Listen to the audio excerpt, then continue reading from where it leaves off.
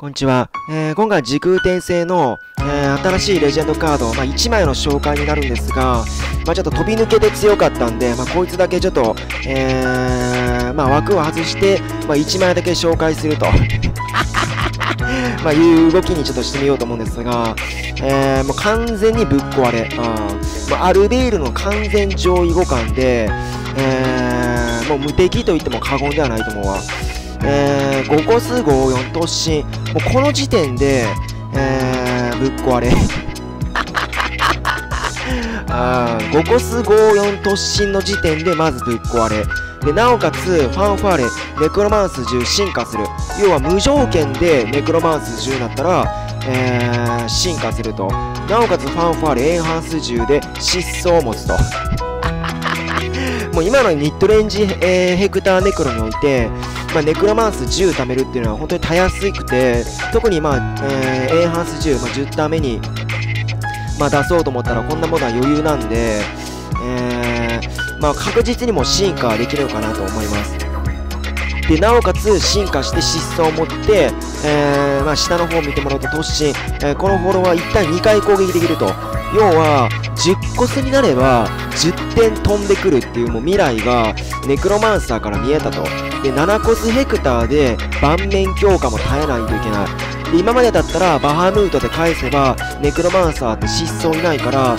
勝ったなとか、あったんですけど、このアイシャっていうのがもう絶対採用されてくると思うんで、もうこいつが採用されていく環境をこう、見据えるならば、バハムードで、えー、ヘクター出した後にババーンってやっても、悠長やなと 思うわけですよ。要は、アルベールで、えー、まあ、ロイヤルの何が強いかっていうと、まあ、でもアルベールは、進化圏残ってなかったら6点にしかならなくて、やっぱ6点と10点っていうのは大きな差であると、まあ、いい、ネクロマン、ネクロマンさんはいいところを取ってるなって思うんですけど、まあ、10点の失踪が、まあ、10タ目に飛んでくるっていうことで、まあ、リーサルの計算とか非常に難しくなった。特にもうミッドレンジネクロが本当にもう最強になってくるのかなと思います。特になんか今回は、あ墓地を肥やすカードがすごい追加されてるし、まあ、ちょっとネクロマンサーのレジェンドが、まあ、前回かな、滅殺の鎧っていうカードの追加とか本当にもう全然使えないカードばっか追加されたから、まあ、たまにはアルベールみたいなロイヤルばっかそんな使うんじゃなくて、まあ、疾走の強いもの、あやっぱ疾走っていうのはこのゲームにおいてすごい強いと思うわ。まあ、かなり、えー、このカードはかなり強いんじゃないかなと、え、思います。まあ、5コスで進化せずに、えー、っと、まあ、突進で、まあ、殴っていくのもありやし、えー、っと、ネクロマンス10あれば進化するんで、別に5コスでネクロマンス10溜まってたら5コス失踪5点とか、8コスの段階で進化勝手にして5点失踪とか、まあ、バンバンいけるんで、